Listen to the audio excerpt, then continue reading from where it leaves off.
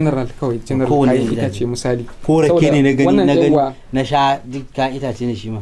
Rake kayan itace ne amma shi ba ba da ba ba- alakan shi alakin shi ba gefen narkewan abinci.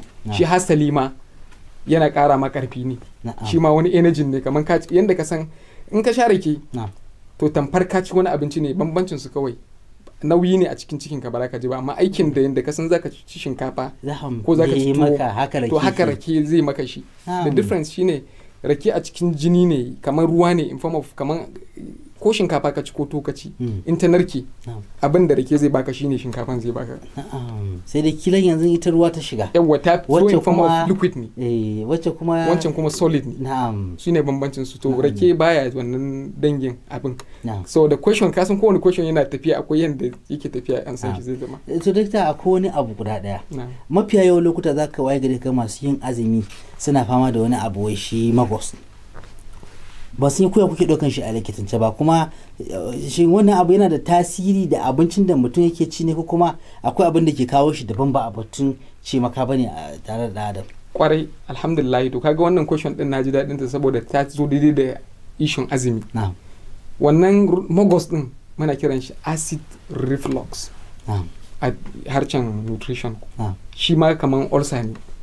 Abinci ne da idan mutum ya ci especially akwai mutanen da in sun ci abinci za ka ga kaman dawowa ne abincin ya so ya maiko Ah. especially maiko. Shi saka ba a encouraging masu azumi da son abin soye-soye especially masu ulcer. Na'am da azumin tabo gefen masu ulcer. Mm, eh, masu ciwoka especially ulcer da watan azumi kamar su kosai soyayye su doya soyayye dankalin tura soyayye. Ah. to wannan excess acid din da yake cikin cikin mutum shine yake iya kamar ya backfiring. Ya dawo. To. Acid reflux. Sai ya dawo ta esophagus na'am wani hanya ne da yake kai ma ciki abinci. To abincin ya dawo sai ne zai dawo magos din kenan ko makos. Na'am sai ya zama yana da Magos. yana zuwa da kaman zafi a ƙirji. So kaga kuma ya wannan fito da wani irin ƙanshi mara daɗi. Mara daɗi wari. so acidity din kenan. Warin shi ne. Ya dawo. Dama abincin a ya tafi cikin ciki. Ya kamata ya tafi digesting ya abubuwa.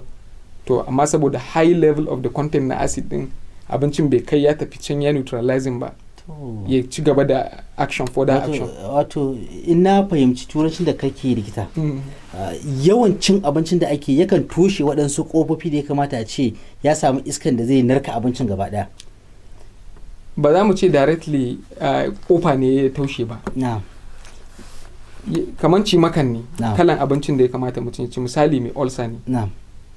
Sai aka sha ruwa mm. sai ya tafi ya ci abubuwan da suke ake soya su more of maiko maiko soyayye.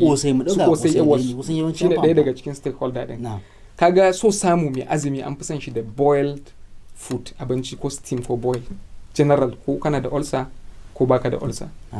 So samu a gefen lafiya. Ba soyayye ba. Misali in doya ne kaga dafaffe ya fi zai fi maka tasiri fiye da soyayye.